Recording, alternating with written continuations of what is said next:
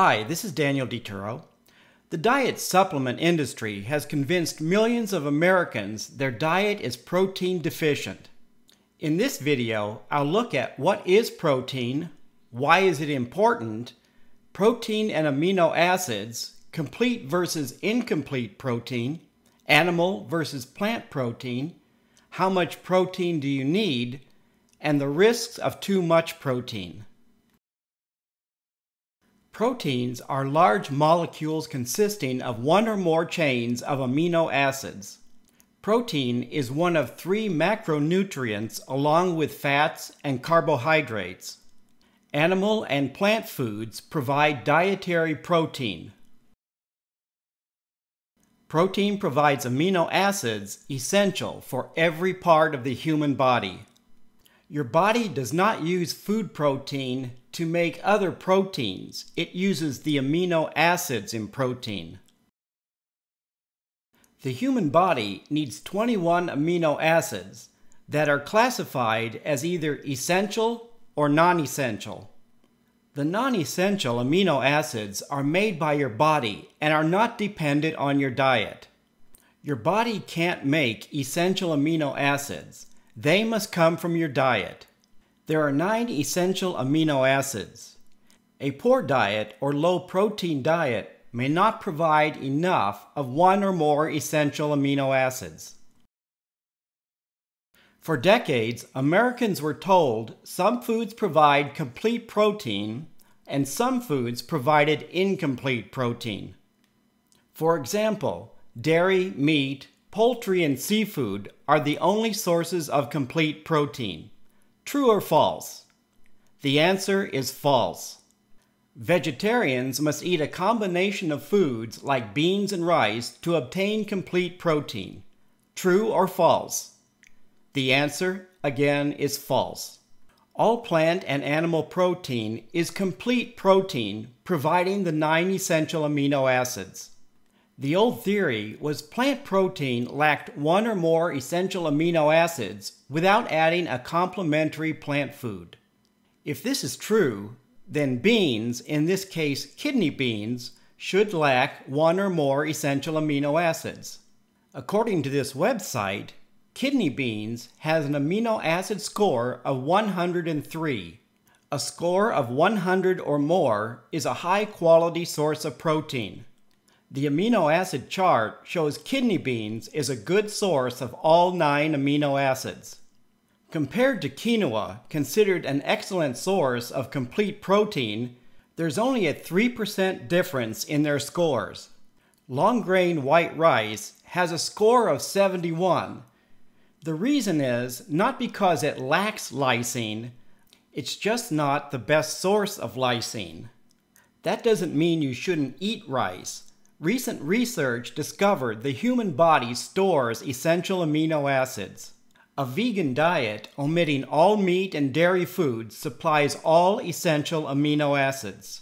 References to complete protein really means quality protein. Dairy, meat, poultry, and seafood are protein dense foods providing high levels of essential amino acids. Soy, chia seeds, and quinoa provide high quality vegetable protein. Contrary to what many Americans believe, beef is not necessarily the best source of protein. Beef is an excellent source of 8 out of 9 amino acids, but provides less tryptophan than quinoa. The USDA recommends Americans get 50 grams of protein for a 2,000 calorie diet. But depending on the source, daily protein recommendations range between 0.4 to 1 gram of protein per pound of body weight. The USDA's 50 gram recommendation falls in between the low range for a person weighing between 100 and 150 pounds. It is recommended that people over 50 should eat more protein because amino acid production declines with age. Anyone exercising strenuously one or more hours a day may also need more protein, but there's little scientific evidence supporting that claim. What's important is the daily supply of essential amino acids. Like protein, there's no consensus. As you can see, the World Health Organization has slightly lower requirements than the USA. U.S. dietary guidelines are developed in partnership with the food industry, and all amino acid values are recommendations, not requirements. Using the U.S. guideline, here is the recommended essential amino acids for a 150 pound person. Eating one 4 ounce serving of beef provides 44 to 87% of the daily recommendation. 2008 projected U.S. per capita meat consumption is almost 10 ounces a day. When it comes to meat protein, poultry is an excellent source. 4 ounces of turkey breast meat provides higher levels of amino acids compared to 4 ounces of beef tenderloin. For a 150 pound person, this one meal with 70 grams of protein provides a day's worth of essential amino acids. Before Americans went on a self medication binge, the risk of overdosing on dietary protein, vitamins, and minerals was zero. It's almost impossible obtaining too much protein from foods. Many Americans are now supplementing food protein in their diet by adding a wide variety of processed protein and high protein foods. During digestion, Protein is broken down into amino acids by a process called deamination. The byproduct of deamination is ammonia, which is toxic. To remove the ammonia, it is converted to urea. Urea is removed through urination. One reason people lose weight on high protein diets is because they are also losing water.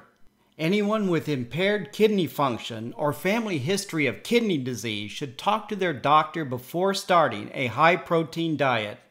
Remember, the quality of protein matters more than the quantity of protein. Some protein facts are that protein provides amino acids, and nine amino acids must come from your diet. Animal and vegetable protein provide all nine essential amino acids. The quantity of amino acids varies from food to food. In general, animal protein is higher in amino acids.